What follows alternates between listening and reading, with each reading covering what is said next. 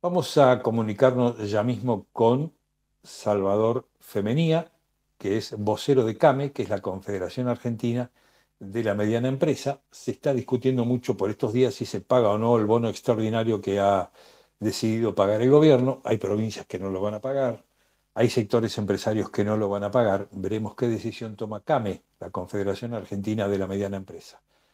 Salvador Femenía, Néstor Zula, buen día. Buen día, Néstor. ¿Cómo te va? Un gusto. ¿Cómo estás? Muy bien. Bueno, ¿qué decisión toma la Confederación Argentina de la Mediana Empresa respecto del bono que el gobierno le está dando a los trabajadores, esta cifra extraordinaria?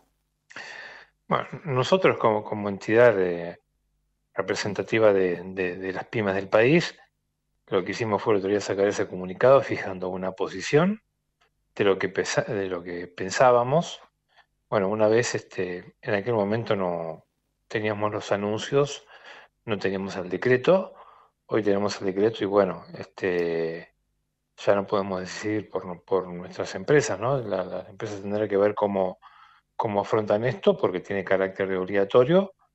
Eh, no, quedaron, no quedaron plasmadas en el decreto eh, posibles sanciones, eh, así que imaginamos que todo el mundo hará un esfuerzo para poder pagarlo y hay gente, muchas empresas micropymes que no lo van a poder pagar, aunque quieran, no lo van a poder pagar. Este, así que creo que va a ser un, escenario muy dispar en cuanto al cumplimiento. yo, por ejemplo, si yo fuese trabajador de una pyme, mi empresario, mi, mi, con, mi patrón me dice, bueno, son 60 mil, ¿no? Te doy seis cuotas de 10, bueno, sí, lo tomo, ¿no? Digo, también pongo mi parte. Nosotros imaginamos también eh, justamente eso de, a ver, la relación de, la pyme como empleadora con sus este, empleados es muy cercana, es de mucha colaboración, son empresas chicas, diría casi, casi ambiente familiar, y yo creo que, va a ser comprensivo el tema, se va a hacer el esfuerzo. Bueno, a ver, eh, queda claro que, nosotros desde la CAME comprendemos lo, lo que ha pasado, comprendemos cómo, está la gente, eh, pero las empresas pymes están igual que la gente, o sea, han recibido este, el efecto de esta devaluación post-paso eh, con un impacto fuerte en su economía, la verdad que es esa, porque hemos recibido listas con, precios con, mucho recargo, mucho aumento, eh, continúa la incertidumbre, con este, algunos productos directamente que había que bajarlo sin, sin, sin precio, y eso realmente en una utilidad o una renta que viene en caída, porque venimos de muchos meses con inflación alta y con este, caída de ventas, este, atenta directamente contra la utilidad. Nosotros no somos formadores de precios. No podemos decir, venimos con todo esto, mantenemos nuestro negocio. La verdad que es muy difícil mantener nuestras circunstancias. Con lo cual, por eso nosotros manifestábamos pasado, qué sé yo, este cimbronazo, nos sentamos con el gremio para discutir la paritaria, que es el ámbito donde de una forma todos nos ponemos de acuerdo y sabemos que si nos ponemos de acuerdo tenemos que ir por ese lado, como van a reabrir, ahora. Van a reabrir paritarias ustedes, sí. Y me imagino que en un momento se, se reabrirá. El principal gremio de ustedes que es comercio. Sí, claro, sí, sí, claro, es el gremio más grande, pero también eh, CAME también es paritario en Guatre, porque tenemos una representación muy importante de economías regionales. Las ah. dos paritarias este, mm.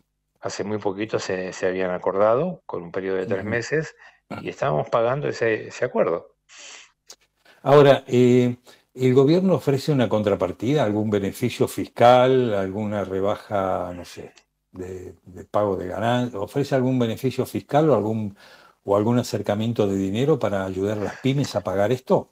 El gobierno lo, que habla y lo dejó plasmado en el decreto es que esto es eh, se puede tomar como pago a cuenta en las contribuciones sociales que correspondan al mes en que se paga. El mes que se paga es septiembre, se puede compensar con las cargas sociales de septiembre que hay que pagarlas eh, en los primeros días de octubre. hay un alivio fiscal.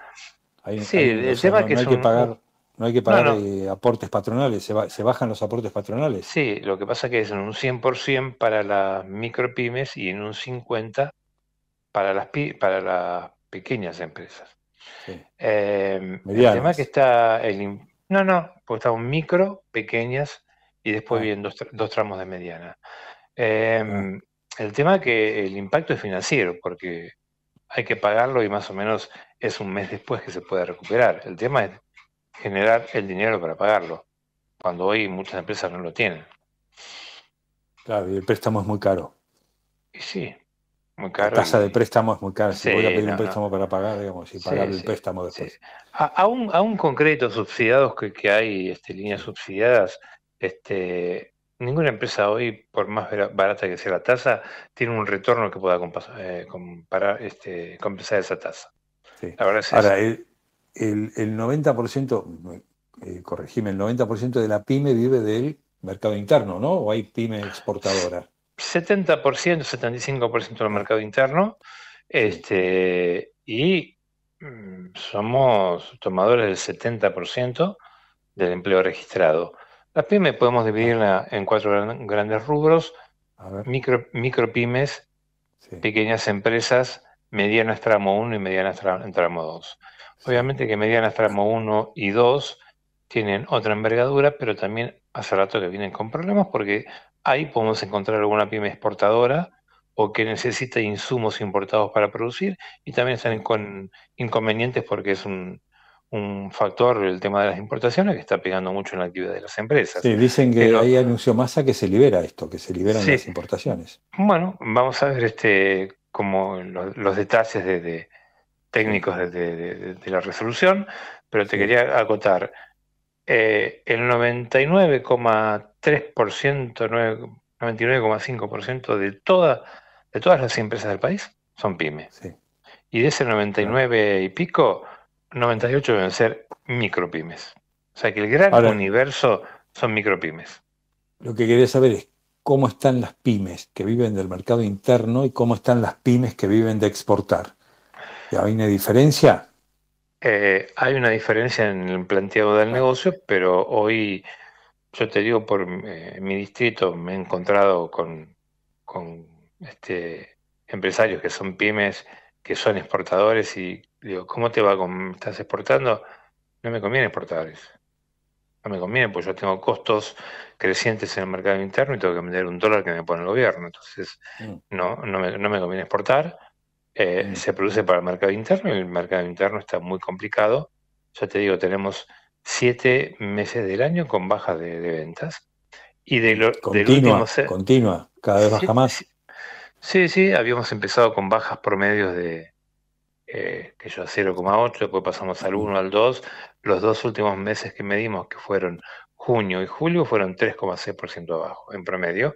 Y tenemos todo el segundo semestre a partir de la renuncia del ministro Guzmán, que fue el primero de julio del 2022, hasta diciembre, el único mes que dio positivo fue diciembre. Seguramente por, la- por, por- por el impacto de, la- de las fiestas navideñas, ¿no?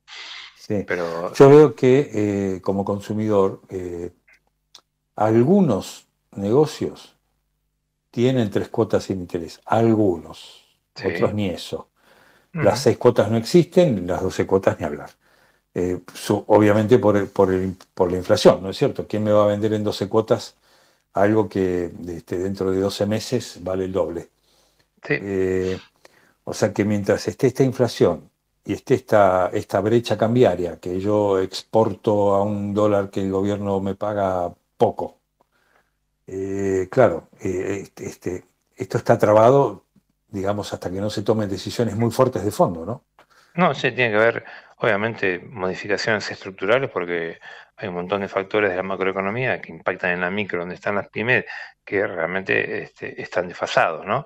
Y respecto a lo que decís vos de las cuotas, bueno, nosotros desde, el sector comercio de CAME nos sentamos este, en cada oportunidad que vence el plan de cuotas de ahora 12 para prorrogarlo porque consideramos que es una herramienta que empuja el consumo, pero hoy es como decís vos, cuando ya la inflación fue a niveles tan, tan altos, eh, vos ya tenés, sabés que es un producto que es cuota fija, pero lo que vale 50 con, en cuotas vale 90.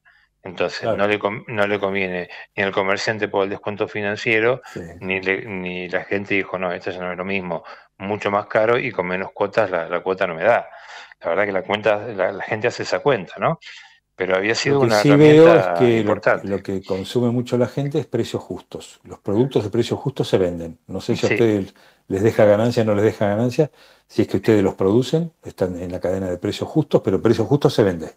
No, con precios justos fue otro tema, porque inicialmente, por allá por principio de año, no, empezó fines del año pasado, este fue un, un- este, un acuerdo que se hizo con, con las grandes cadenas, que son, en realidad representan el otro 30% del consumo interno, y nosotros no pudimos adherir porque realmente no teníamos, este, en las negociaciones que se llevaron a cabo, no teníamos la palabra de nadie que nos asegurara el abastecimiento a precios justos, porque nosotros tenemos que comprar a un precio bueno para vender un precio bueno. A las pymes no le aseguraban eso, quedamos fuera de eso y se nos produjo un corrimiento de la demanda de nuestra clientela a las grandes superficies buscando este, los productos con precios justos. No todos se encuentran, no durante todo el día tenés, pero cada tanto la gente va y busca. Y es totalmente lógico. Después, a partir de mitad de junio, se hizo un acuerdo para incluir a las pymes, pero que realmente con la atomización que tienen las pymes, que el, último rinconcito del barrio tenés un almacén, no, no llega. Es imposible hacer ese acuerdo. Se generaron algunos productos que más o menos aparecieron, pero en general no, no, no, no consiguió el objetivo que, que se dice. ¿no? Claro, exactamente. Bueno, perfecto. Salvador Femenía, vocero de CAME, Confederación Argentina de la Mediana Empresa. Muchas gracias eh, y buen fin de semana. Igualmente para ustedes, ¿eh? gracias por llamar. Muchas gracias, hasta luego.